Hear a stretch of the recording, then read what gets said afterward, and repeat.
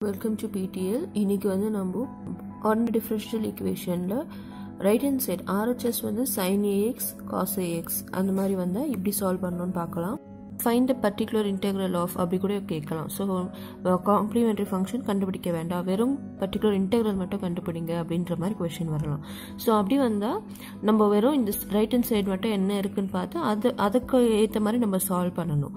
So இப்போ நம்ம கொஸ்டினில் பார்த்தீங்கன்னா ஆர்ஹெச்எஸ் சைடு வந்து காஸ் ஃபோர் எக்ஸ்ன்னு இருக்குது காஸ் இல்லை சைன் இந்த மாதிரி ரெண்டு இருந்தாலும் பர்டிகுலர் இன்டெகிரல் கண்டுபிடிக்க ஒரு ஃபார்மேட் இருக்கு. ஒன் பை ஃபங்க்ஷன் அதாவது லெஃப்ட் சைடில் இருக்கிற வையை தவிர்த்து இருக்கிற ஃபங்க்ஷன் இன்டூ ரைட் சைடில் இருக்க காசோ இல்லை சைனோ என்ன வேல்யூ இருக்கோ அதை போட்டுக்கணும். எது இருக்குதோ ரைட் சைடில் அதை யூஸ் பண்ணணும். ஸோ இது இதுக்கப்புறமா எப்படி சால்வ் பண்ணணுன்றது தான் நம்ம இந்த வீடியோவில் பார்க்க போகிறோம் ஏற்கனவே ஒரு டேபிள் பார்த்துருந்தோம் இல்லைங்களா? எல்லா வீடியோஸ்லையும் பார்த்துருப்போம். ஸோ அதே மாதிரி இதில் பாருங்கள் sine a x cos x வந்துச்சுன்னா பர்டிகுலர் இன்டெக்ரல் வந்து நம்ம எப்படி கண்டுபிடிக்கிறோன்னா replace D square by minus a square இந்த ஸ்டெப் தான் நம்ம பண்ணணும்.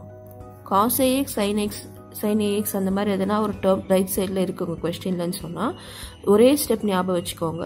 பர்டிகுலர் இன்டெக்ரலுக்கு டி ஸ்கொயரை வந்து மைனஸ் ஏ ஸ்கொயர்னு மாற்றணும் ஸோ நான் ரீகேப் பண்ணுறேன் ஃபஸ்ட்டு இ பவர் டேர்ம்ஸ் எதுனா ரைட் சைடில் இருந்தால் டி இஸ் ஈக்குவல் டு ஏன்னு போடணும்.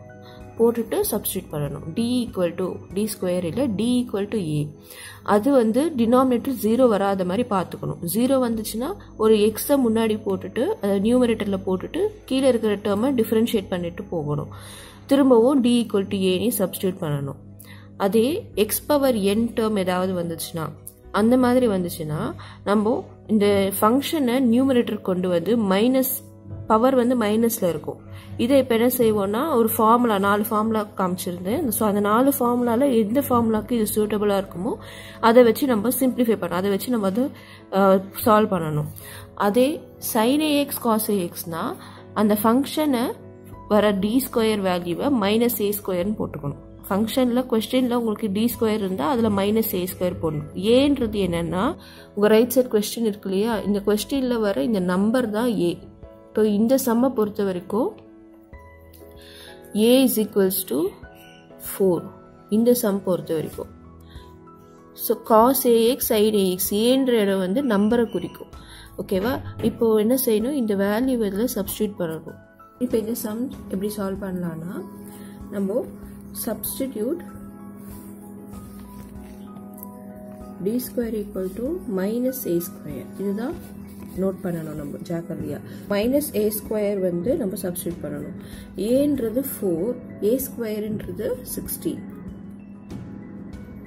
அப்போது minus a ஸ்கொயர்னா which is equal to minus sixteen substitute பண்ணணும். நம்ம சம் வந்து one by minus sixteen D ஸ்கொயரே minus sixteen தான். அதனால் minus sixteen plus four into cos four x இங்கேயும் ரூல் என்ன?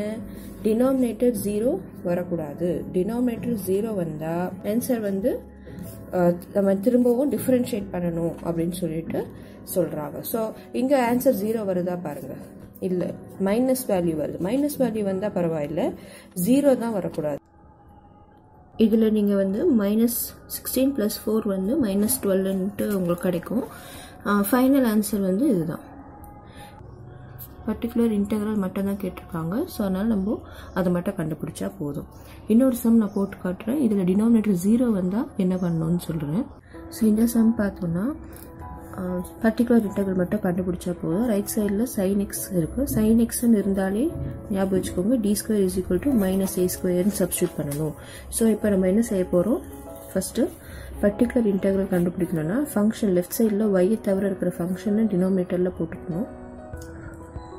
இன்டூ ரைட் சைடில் இருக்கிற டேர்ம் என்ன டேர்ம் இருக்கோ அதை போடுவோம்.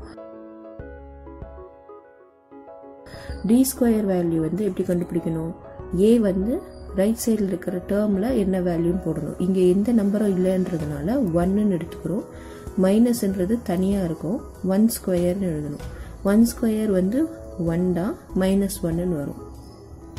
இப்போ இதுக்கும் minus A ஸ்கொயருக்கும் bracket of minus a the whole ஸ்கொயருக்கும் வித்தியாசம் தெரிஞ்சுக்கோங்க. இது வந்து இந்த சம்மு ரிலேட்டட் கிடையாது. ஜஸ்ட் சைடில் சொல்கிறேன் ஹிண்ட் மாதிரி. மைனஸ் ஏ ஸ்கொயருக்கும் மைனஸ் ஏ த ஹோல் ஸ்கொயருக்கும் வித்தியாசம் இருக்குது இப்போது மைனஸும் ப்ராக்கெட்டில் தான் இருக்குது ஏவும் ப்ராக்கெட்டில் தான் இருக்குது ஸோ அதனால் என்ன எழுதலாம்? மைனஸ் மைனஸ் இன்ட்டு மைனஸ் வந்து plus a a into whole square வந்து ஏ ஸ்கொயர்னு எழுதலாம். ஆனால் இங்கே ஏ மட்டும்தான் ஸ்கொயரில் இருக்குது மைனஸ் தனியாக தான் இருக்குது இதை தான் நம்ம இங்கே ஃபாலோ பண்ணுறோம் minus a square so minus தனியாக வரும். ஏ ஸ்கொயர்ன்றது இந்த வேல்யூ மட்டும் ஸ்கொயர் ஆகும். இப்போ இந்த வேல்யூவை தான் இங்கே சப்ஸ்டியூட் பண்ணணும். One by minus one plus one sine x minus one plus ஒன்ன்றது zero ஆகிடும் அப்படின்னா டினாமினேட்டர் ஜீரோ வரக்கூடாது இல்லையா? ஸோ ஜீரோ வந்துருச்சுன்னா என்ன? ஆர்டினரி டிஃப்ரென்சியேஷன் இங்கே நடக்கலை. ஸோ இது வந்து ஃபெயில்ஸ் ஃபெயில் ஆகிடுச்சின்னு அர்த்தம். ஃபெயில் ஆகிட்டா என்ன செய்யணும்? நம்ம டிஃப்ரென்ஷியேட் பண்ணுவோம். கொஸ்டினில் டினாமினேட்டரை டிஃப்ரென்ஷியேட் பண்ணிவிட்டு ஒரு எக்ஸை மேலே போட்டுக்கணும். நியூமரேட்டரில் போட்டுக்கணும். ஸோ இப்போ என்ன ஆகும்? One by D two D sine எக்ஸ்ன்னு ஆகும். எப்படி? கொஸ்டின் வந்து one by D square plus one into sine x இப்போது இந்த டிஃப்ரென்ஷியேஷன் ஃபெயில் ஆனதுனால திரும்பவும் அந்த கொஸ்டின் எழுதி டூ டி இதை டிஃப்ரென்ஷியேட் பண்ணுங்கள் டினாமினேட்டரை டிஃப்ரென்ஷியேட் பண்ணால் ஒன் பை டூ டின்னு வரும். ஒன் வந்து கான்ஸ்டன்ட் டிஃப்ரென்ஷியேட் ஆகாது. ஸோ ஜீரோ சைன் எக்ஸை அப்படியே வச்சுக்கோங்க. அது எதுவும் பண்ண வேண்டாம். ஆனால் ஒரு நியூமரேட்டரில் மட்டும் ஒரே ஒரு எக்ஸ் போட்டுடணும் எத்தனை தடவை நீங்கள் டிஃப்ரென்ஷியேட் இந்த மாதிரி ஜீரோ வருது அதனால் டிஃப்ரென்ஷியேட் பண்ணுறீங்களோ அத்தனை தடவை நியூமரேட்டரில் ஒரு எக்ஸ் போட்டுகிட்டே வரணும். ஸோ அடுத்து சப்போஸ் இந்த ஸ்டெப்லேயே எனக்கு ஜீரோ வந்துச்சு சால்வ் பண்ணி. அப்படின்னா மேலே இன்னொரு எக்ஸ் போட்டு x into x x square ஆகிடும் அப்புறமா டினாமினேட்டரில் டிஃப்ரென்ஷியேட் பண்ணி டூன்னு வரும். ஸோ அந்த மாதிரி நம்ம எக்ஸா மேலே போட்டுகிட்டே வரணும். டிஃப்ரென்ஷியேஷன் கீழே இருக்கிற டேர்ம் மட்டும் பண்ணால் போதும். சைன் எக்ஸ் பண்ண வேண்டாம். இப்போது இந்த டேர்மை நான் இங்கே எழுத போகிறேன் சப்ஸ்டியூட் பண்ண போகிறேன் ஸோ அதுதான் இங்கே எழுதியிருக்கேன். X divided by two D sine x இப்போது என்ன செய்வோம்? எக்ஸ் பை டூ தனியாக எடுத்துக்கோங்க. ஒன் பை டி தனியாக எடுத்துக்கோங்க. சைன் எக்ஸ் தனியாக எடுத்துக்கோங்க. இந்த சைன் காஸ் அந்த மாதிரி வர சம்ஸ்க்கு மட்டும் இந்த மெத்தட் ஃபாலோ பண்ணுங்க. ஒன் பை டினா இன்டகிரல்னு அர்த்தம். ஒன் பை டினா இன்டகிரேஷன் அர்த்தம். அதாவது ஒன் டிவைடட் பை டிஃபரன்சியேஷன் டிஃபரன்சியேஷனை இன்வெர்ட்ஸ் இன்வெர்ஸ் பண்ணும்போது இன்டகிரேஷன் ஆகும். சரியா? ஸோ இந்த ஸ்டெப்பை ஞாபகம் வச்சுக்கோங்க. டிஃப்ரென்சியேஷன் டின்றது டிஃப்ரென்சியேஷன் டி பை டிஎக்ஸ்ன்னு சொல்கிறோம் இல்லையா? Capital Tina D by d x so இதை ஒன் பையில் இந்த டிஏ போடுறோமோ போடும்போது இது இன்டகிரலாக மாறிடும். இப்படி போடுவோம் இல்லைங்களா? இன்டகிரல் அந்த மாதிரி மாறிடும். ஸோ அதனால் ஒன் பை டிக்கு பதிலாக இன்டகிரல் போட்டு சைன் எக்ஸ் போட்டுக்கோங்க எக்ஸ் பை டூவை போட்டுக்கோங்க சைன் எக்ஸோட இன்டகிரல் வேல்யூ தெரியணும். இப்போது integral of sine x equal to minus cos x. Integral of cos x equal to வெறும் sin x மைனஸ் வராது. ஸோ இதை நீங்கள் ஞாபகம் வச்சுக்கோங்க. இப்போ மைனஸ் sin x வந்து மைனஸ் cos x. இன்டகிரேட் பண்ணி வர answer minus cos x into x by two so final answer particular இன்டகிரலுக்கு minus x by two cos x இதுதான் ஆன்சர் வந்து ரெண்டு மெத்தட்ஸ் பார்த்துருக்கோம். ஒன்று வந்து டினாமினேட்டர் வந்து நார்மலாக இருக்குது ஸோ அதனால் என்ன ஆன்சர் டினாமினேட்டர் ஜீரோ வந்தால் என்ன பண்ணணும்னு பார்த்துக்கிறோம்.